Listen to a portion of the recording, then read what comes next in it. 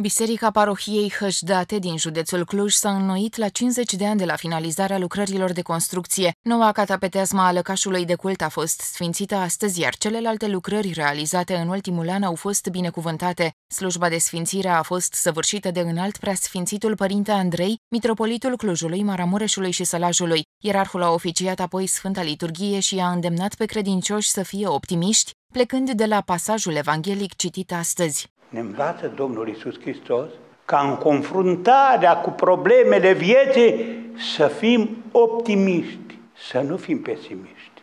Aceasta este trăsătura învățăturii creștine, să fim optimiști, să fim curajoși.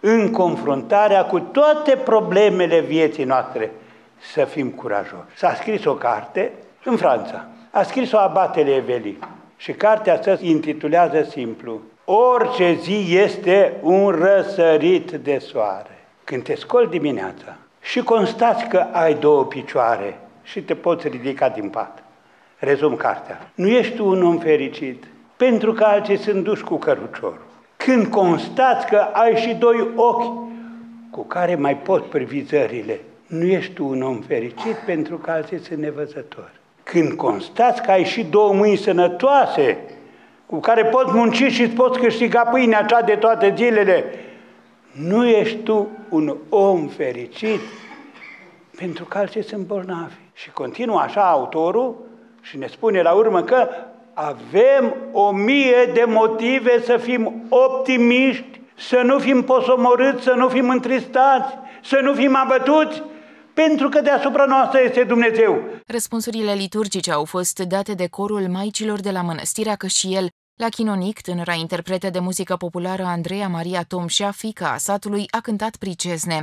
Părintele de șapte ani de când a fost instalat aici a făcut foarte multe lucrări de îmbunătățire a bisericii. După ce s-a preocupat de exterior, a rezugrăvit-o sau uh, s-a schimbat acoperișul, iată că acum uh, s-a încununat o lucrare desfășurată în interior. Mai cu seamă, Uh, dintre toate lucrările la interior, uh, semnalăm iconostasul nou sculptat în lemn de tei de un pictor cu rădăcini în această localitate.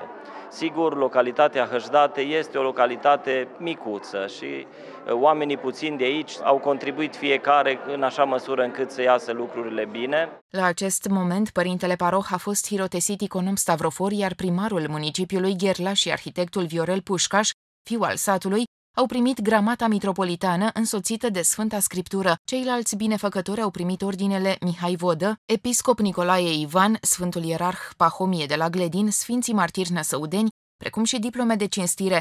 De asemenea, ierarhul a oferit cărți duhovnicești copiilor și tinerilor. Ne-am uh, bucurat de prezența în al preasfințitului Arhiepiscop și Mitropolit Andrei la noi la Sfânta Biserică, unde s-au binecuvântat lucrările de înfrumusețare a bisericii, care s-au realizat în uh, anul acesta de la iconostasul nou care l-am uh, realizat, la pictură, la pardosea, la nouă și mai ales la o pictură nouă în pridvor.